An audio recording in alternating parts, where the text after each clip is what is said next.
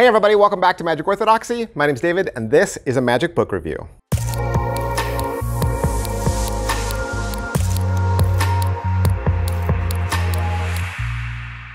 Hey everybody, welcome back to the channel. It must be Friday. It must be Friday because that is when I take some time to look at a magic book. Here at Magic Orthodoxy, I not only review the latest and greatest in magic tricks, but I also review playing cards. I also review magic books and downloads and physical products, and I do giveaways. That's right. Every single month, I do giveaways. Every single year, I give away thousands of dollars worth of magic tricks. So before you forget, hit like, sub, and follow, push those buttons. Today, we're to look at a very interesting project because this is not from some big name, fancy, schmancy magician celebrity. This is from Mike the Magic Man. This is a paperback, self-published book, little autobiographical that he is selling on Amazon. And you know, this kind of takes me back to when I was younger. When I was younger and shopping for magic, it was very common to go into a brick and mortar store and find magic tricks sold in plastic bags, like literally like a sandwich bag, and typed up instructions that were taken to like a Kinko's or a photocopy machine and the photocopied off, right? And then sometimes your instructions were photocopies of photocopies, and you could tell that everything was homemade or made in the basement, right? The magician physically touched this uh, themselves before sending this off to you. And so there was kind of like a, a homemadeness, a personalness. There, there was, sure, there was tricks and releases from the big name celebrities, but maybe those didn't come out very often. And so oftentimes you were buying tricks from magicians you had never even heard of, just because they sounded cool or you wanted something new. And so this takes me kind of back to that era because making my own luck, this book, is clearly um, very personal and very autobiographical.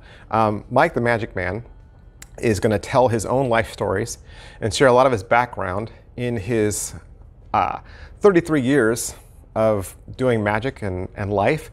And this book also includes a lot of his personal, uh, I guess, anxiety and his disability and how he learned to make connections and how he's learned to overcome stage fright. And so it becomes this book about him growing up in Florida and his parents getting his first magic kit, going off to camp, um, performing at a talent show, and then starting to incorporate the things that he enjoys. Like he likes cosplay, so he'll dress up as Han Solo, or he'll dress up as Doctor Strange, or he'll dress up as the Joker from Batman, right? And then he's learned to take that costume costuming cosplay world and his magic world and kind of mash them together. And then he talks to you about how do I fuse those things together, but at the same time combat, you know, ADD and, and the anxieties that he's had growing up, and then putting that all into a career. And then the second half of the book, he's going to give you 15 tricks.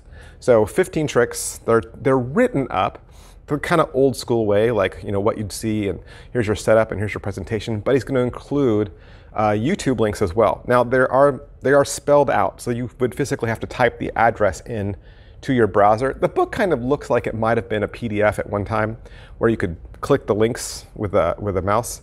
But now it's kind of all paper uh, document. So to do those links, you'll have to click it in. You'll find the playlist. He's got a huge uh, library of YouTube videos, both performance videos, uh, many of which are in the real world and uh, explanation videos. And it's a nice selection of different types of tricks. And so you'll get all the lessons, you get all the performances, and uh, put it all together. So you'll learn a little bit about, little bit about Magic Mike, and then you'll get to learn some tricks for 20 bucks. So 15 tricks, right?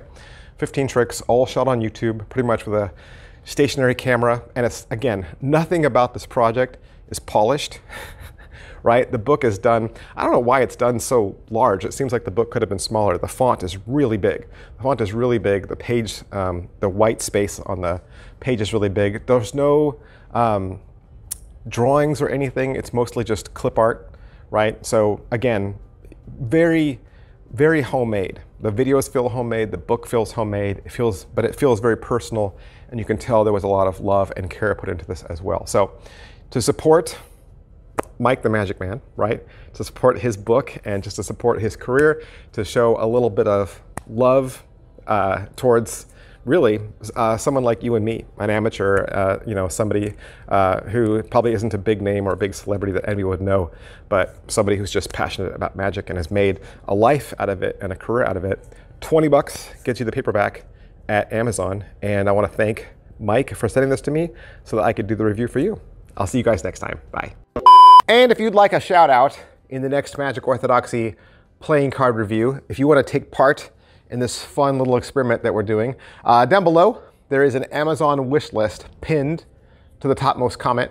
All you gotta do is click that and select any one of the decks of cards I have listed there. I picked out just a bunch of fun decks. There's some magic decks, some other creative decks, things that I've never reviewed before.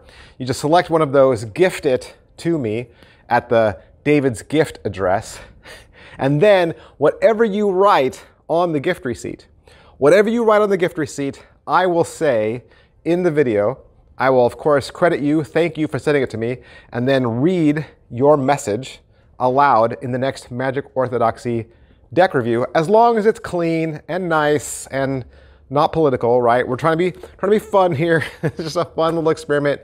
I don't even know how long I'll do this, but we'll do it until it's not fun anymore, I guess. So go down there, check out some of those decks, and I'll see you guys next time. Bye.